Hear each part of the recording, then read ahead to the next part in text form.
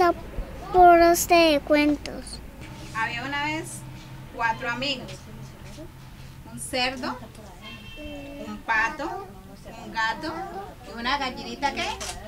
Roja. Un día picoteando la gallinita encontró ¿qué?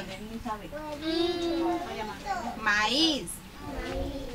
Encontró unos granitos de maíz. Fue a ver a sus tres amigos y les preguntó, ¿quién quiere ayudarme a sembrar este trigo? Yo no, dijo el cerdo. Yo no, dijo el pato. Yo no, dijo el gato.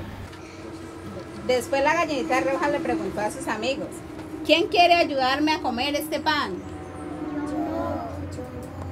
Yo, dijo el, el pato. Yo, dijo el, el gato. Y yo, dijo el cerdo. Ahí sí ya querían qué? Comer. Porque ya estaba el pan hecho. Ah, no, le dijo la gallinita roja. Yo no les voy a dar. Yo sola fui la que trabajé. Yo no les voy a dar mi pan. Olvídese. Ella sola se comió el pan junto con los hijitos, ¿cierto? Los pollitos, porque ella sola trabajó. Mire la carita de los, de los amigos. ¿Cómo estaban?